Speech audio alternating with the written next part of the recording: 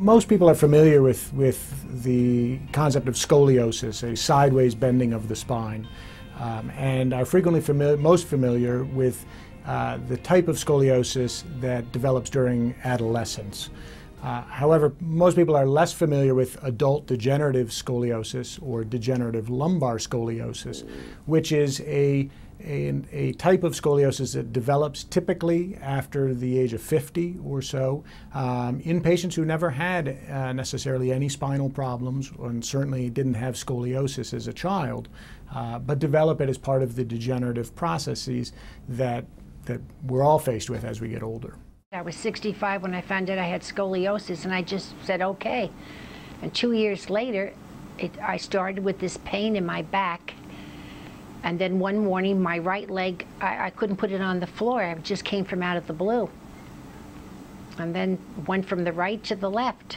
So I started going to the doctors, and they said, oh, no, you need major surgery. And I said, oh, wow, let's think this one over. The most common processes, uh, uh, degenerative processes of the spine that contribute to scoliosis are degenerative disc disease, that is wear and tear disease of the, of the soft tissue cushions between the individual spinal bones, uh, and degeneration of the, the facet joints, which are the joints in the back of the spine. And these two structures, the discs and the facets, allow for normal pain-free movement of the spine, but over time, like any joint in the body, uh, they, can, they can break down and, and degenerate. Uh, if that happens asymmetrically, more on one side than on the other, uh, sometimes because there's a leg length discrepancy, sometimes for no apparent reason, that can start a, a tilt of the spine that starts off at, a, at, one area very subtly, but over time can develop into a, into a fairly significant uh, curve of the spine or scoliosis. I woke up one morning I could not put my right leg on the floor without screaming. I had no idea what it was. All I knew was in terrible pain. And I had this lump, and I didn't know what the lump was. Uh, I came to find out that that was my, sp my spine turned to the left. She was uh, in her early 70s. She'd had an active life, had been active uh, family and, and uh, outdoors activities for a long period of time, but for the two or three years before I met her, had had a number of, of symptoms and episodes related to her spine. She'd had a previous spine uh, operation during that time to relieve uh, a foot drop. She'd had a, uh, neurological deficit and had a, uh, a, laminotomy done by another surgeon and had improvement of her symptoms from that, but continued to deteriorate in other ways. It was so painful that I couldn't sit in a chair, and I figured out that the easiest way to exist was to lie on the floor. And I spent my days on the floor with pillows under my neck, a television clicker in one hand and a telephone in the other. So I obtained special x-rays of her entire spine on one film, uh, and that showed that she had about a 30 degree scoliosis um, of the degenerative lumbar type. Uh, this, in combination with the narrowing around the nerve roots, was, in my opinion, the reason for her, her symptoms, which were a combination of back and leg pain. So we performed a surgery, I performed a surgery where I decompressed the nerve roots in her lumbar spine and then placed pedicle screws from the lower thoracic spine down to the sacrum and put fixation into the pelvis as well, connected that with rods and placed bone graft. First time I heard that I needed surgery, I mean major surgery, I was so shocked I didn't believe it. I mean, I literally, literally ran out of the doctor's office. I mean, the thought of, uh, you know, rods and screws in my back, I thought it was just a bit drastic. As I'm evaluating a patient, I'm, I'm thinking through a process of what's the smallest operation that I think I can do that has the greatest chance of, of short and long-term benefit for the patient. If, if a decompression alone doesn't seem to be a viable option, then a decompression with a, with a fusion surgery uh, that usually includes instrumentation would be the next option.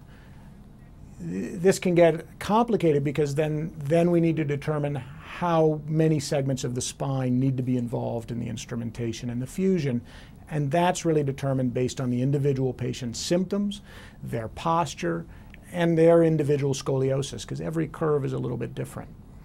So if, if an instrumented fusion is appropriate for a patient, we use implants such as these, which are called pedicle screws with a rod construct. And this is basically uh, a screw at each vertebral level that goes down the pedicle of the, of the vertebra and allows us to hold it or manipulate it uh, in space.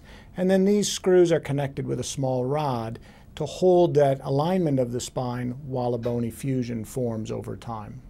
We don't remove these implants. There's uh, very rarely, if any, reason to take them out.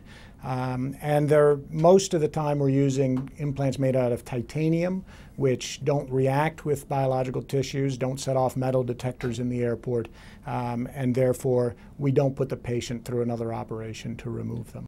The entire goal of the surgery is, is functional improvement and reduced pain. Um, and if, if I don't think that I can achieve that for a patient through surgery, then surgery isn't appropriate for that patient. So I, I tell people that after a spinal fusion, they're going to do things differently than they do them before surgery because of the loss of, of, of the spinal movement, but also because they have less pain. And so they often will do things better. They'll be able to walk longer, stand for longer periods of time.